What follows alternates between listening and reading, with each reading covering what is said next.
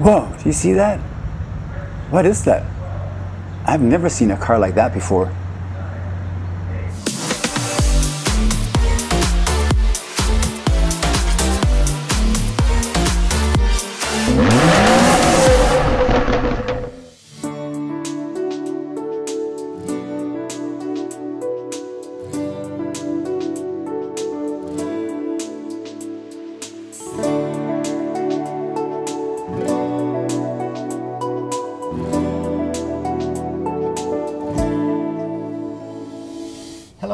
Everyone, and welcome to California Dream Drives. This weekend I was at a local airport when I spotted an unusual looking vehicle. It turned out to be a pre-production model of the all-electric Rivian R1T truck.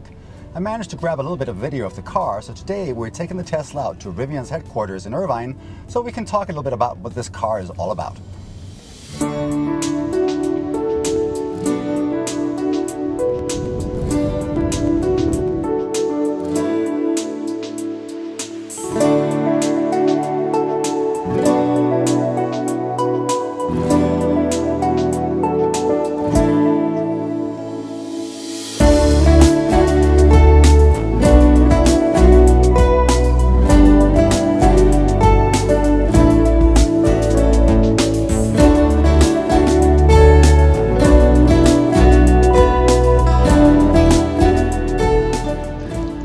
Here we are in Irvine, and this rather unassuming building behind me is actually the Rivian World Headquarters. Rivian has been around since 2009, but the R1T truck and its sister car, the R1S SUV, are the company's first vehicles to come to market.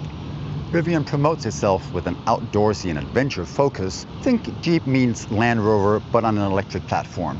The R1T is marketed heavily for adventure camping usage, which brings to mind another car that launched about 20 years ago, but we'll get back to that a little bit later. First, let's take a look at the car we spotted driving around the Orange County Airport this weekend.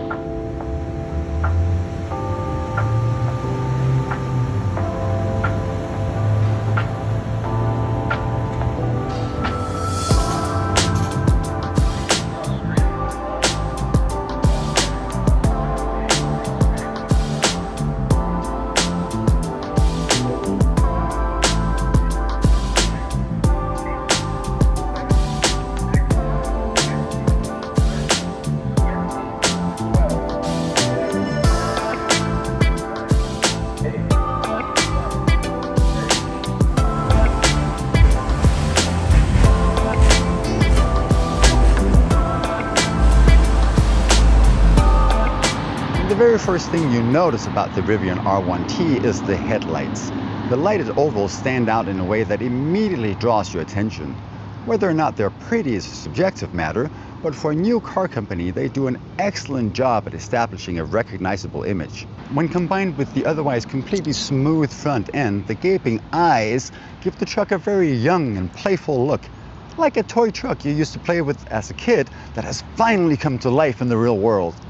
The narrow horizontal light bar across the front end gives the car width and applies a grin to the face, but it also signals performance and affluent styling. There are clear style hints towards Range Rover in the way that the lights wrap around the corners. The light bar is repeated on the tailgate as well, and the wraparound corners from the front are mirrored here too. This gives the car a very cohesive look and feel. The continuous glowing lights look both futuristic and high-end while emphasizing the simplicity that comes with owning and operating an electric vehicle. It's like the entire car was carved out of a single block of material, unlike the myriad of parts and pieces traditional cars are made from.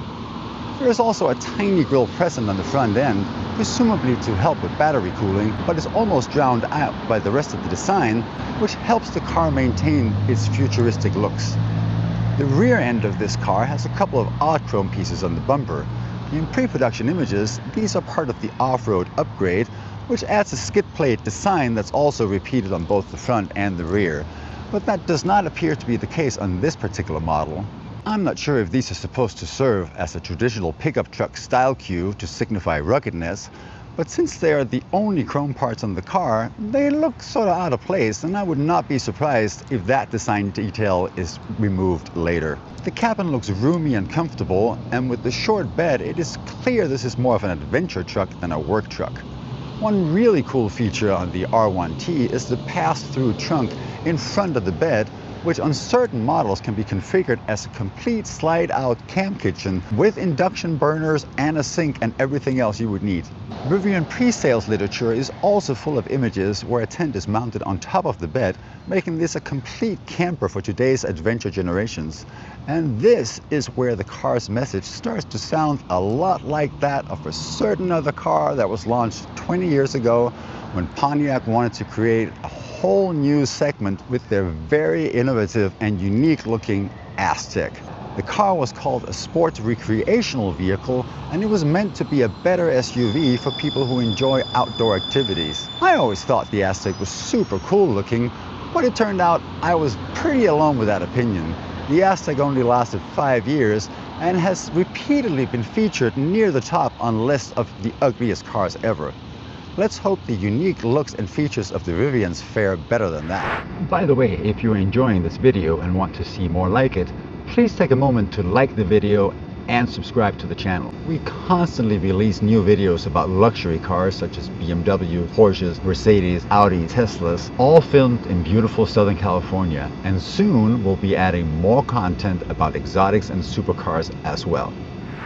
Okay, so you've decided that this new electrified trail camper is for you, but now you're wondering how much it will set you back. Most buyers will have to select between the Adventure package, which starts at around $75,000, and the Explorer package, which starts at $67,500. Both options will qualify for all federal and local EV incentives, which means the actual price you pay could be up to around $10,000 less. The Adventure package is mostly the base model Explorer package with some options bundled together on top of it, including the aforementioned off-road upgrade. In addition to that, there are interior design options and material options, and as well as paint options, and of course wheel upgrades. And finally, there's a $10,000 battery upgrade available as well, which will take the rated range of the car from 300 plus miles to 400 plus miles.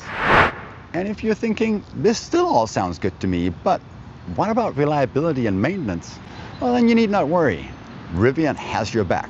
The company recently announced a bumper-to-bumper -bumper warranty of five years or 60,000 miles, whichever comes first. In addition to that, the all-important battery warranty will guarantee charging capacity doesn't drop below 70% for 8 years or 175,000 miles. Those are both significantly better than what Tesla is currently offering. Rivian will also be remote monitoring most of the systems in your car and hope to find most issues before they become a problem. With electric vehicles essentially being giant rolling computers, the idea is to fix most of these issues via over-the-air updates before you even notice that they're there. For the occasional mechanical issues that require human interaction, Rivian will have a rowing fleet of remote care specialists who will come to your home or your work and fix your car there. Now, that sounds a lot better than having to take your car in for service to me. Now the final piece of the puzzle is obviously the issue of charging your car. While you'll be able to charge your car at home in your garage, if you're lucky enough to have one of those, as well as third-party charging stations, there are still concerns about charging being available when you need it and where you need it, especially if you use the Rivian as intended for camping and exploring in remote areas. The whole idea behind a lot of those destinations is to get off the grid, but that obviously won't work if you need the grid to power your car. But Rivian has thought of this as well. Much like Tesla, they're planning to put their own charging network in place, but unlike Tesla, they won't be focusing primarily on putting superchargers in urban settings and along major roadways. Rivian plans to put in at least 3,500 fast chargers across the country, but on top of that, they'll be establishing more than 10,000 waypoints, which will allow Rivian owners to charge at lower speeds. The lower charging speeds means that less amperage is needed and hence a less beefy infrastructure, which in turn will allow Rivian to install these chargers at more remote locations like trailheads and motels, campsites, national parks, etc. The idea here is that you can charge your car while you're hiking or sleeping or mountain biking or paragliding or rock climbing or whatever your passion might be. In short, Rivian wants to ensure that you can charge your car in more places and especially in places where chargers aren't commonly found today. The rollout schedule for their chargers is extremely ambitious with the 3500 fast chargers scheduled to be available before the end of 2024. If we take a look at Rivian's predicted charging map and compare it with Tesla's map, we can see that Rivian will have fast charger coverage in the vast majority of places where Tesla has chargers today. If they're able to pull this off, it'll be a huge accomplishment and it will definitely create a key differentiator in competing with the myriad of other electric cars coming in the next few years. And so after all of this, you've now decided that you must own a Rivian R1T. There is only one problem with this. While the initial launch edition is due to start deliveries in June of this year, it is already completely sold out. But fear not, you can still order a regular edition car as long as you're willing to wait a little. Deliveries of the regular edition are scheduled to start in January of 2022. So there you have it. What do you think? Are you a Rivian fan? Will it do better than the Aztek? Let me know in the comments down below. As always, thank you for watching. I really appreciate all of your comments and your feedback very, very much. So please don't be a stranger. And please also like and subscribe if you haven't already. We have so much cool car stuff coming up on the channel. That's it for now. Have a wonderful day. And remember, kindness makes the world better. See you on the next one.